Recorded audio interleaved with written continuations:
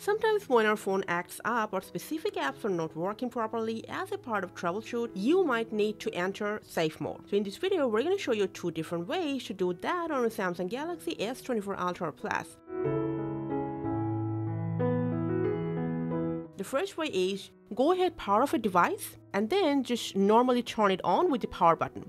When you see Samsung's logo on your screen, immediately release the power off button and instead press and hold this volume down button you will see safe mode written at the bottom of your screen. The second and easier way to enter safe mode is first bring down the power off menu, tap on power off, and then just press and hold on this button until you see safe mode written in here. All you have to do is just tap on it and your device will be restored into safe mode. All the third-party apps are disabled and grayed out in this mode. If your phone runs properly in safe mode, you might need to take care of the specific third-party app. You know that drill.